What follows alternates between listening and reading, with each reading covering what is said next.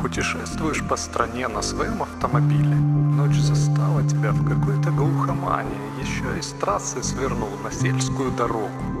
Думаешь заночевать в лесу, как вдруг вдалеке видишь какую-то деревеньку.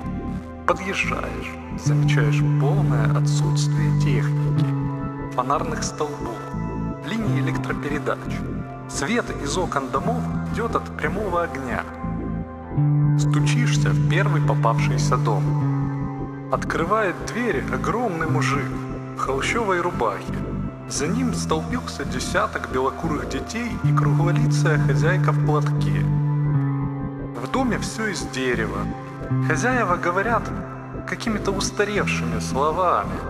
Просишь переночевать, тебя впускают, приглашают к столу, дают деревянную тарелку с ложкой. Ешь сытный ужин, от которого слепаются глаза.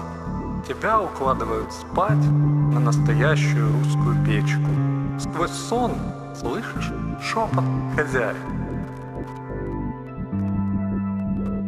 Слушай, малой, сгоняй до Радимира. Пусть он мужиков позовет. Сегодня его же и похороним. А то к зиме нужно будет еще сбор делать. Почему-то вспоминаешь, что за столом все странное семейство хрустело какой-то непонятной травой.